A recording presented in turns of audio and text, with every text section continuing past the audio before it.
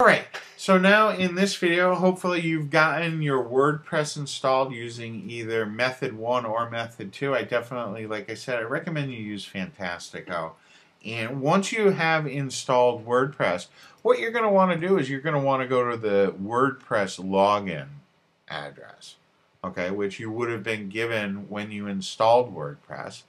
And from there, what I'd like you to do is I'd like you to go ahead and enter in your username. Okay, and then just go ahead, enter in your password that you were given, and then click on the login button.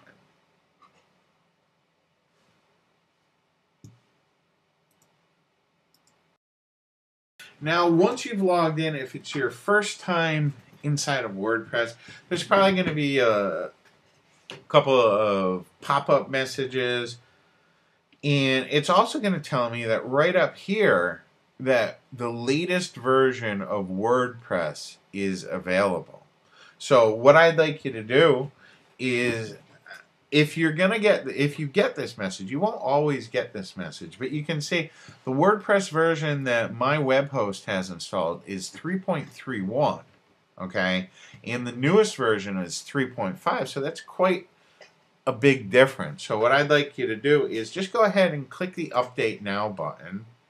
And what it's going to do before updating, please back up your databases and files. Because this is a brand new version, we don't really need to do that because we don't have our, our content in here yet. So all that you need to do is click on the Update Now and what it's going to do is it's going to install the latest version for you. Okay, you can see we're in WordPress 3.5 now. It's going to tell us what's new. There's all kinds of new features. Has a nice new default theme. It's retina ready, meaning that real sharp detail you can get. Nice color. Tells you all the different changes that were made. Okay. Now, the other thing that I'd like you to do is over here on plugins.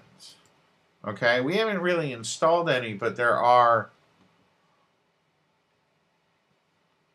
um, there is one plugin that does have an update available. So if you just click on update available, okay, we can go ahead and click that and it's telling me that there's a new version available so we just want to click on oh, I'm sorry. We just want to go ahead and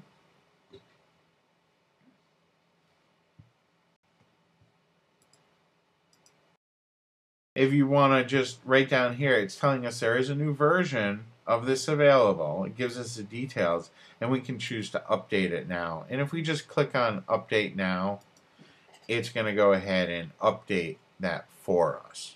Okay, I didn't even have that plugin activated yet, but now it is. Okay, it's a plugin that I don't use, but I did want to make sure that it was updated so that you can see how that you would update your different plugins and update WordPress itself. Okay, so now we're in the latest version of WordPress. Over here we have our dashboard here, over here on the side. You can see we get this little notice here saying that there's two updates. And it's saying, hey, you have the latest version.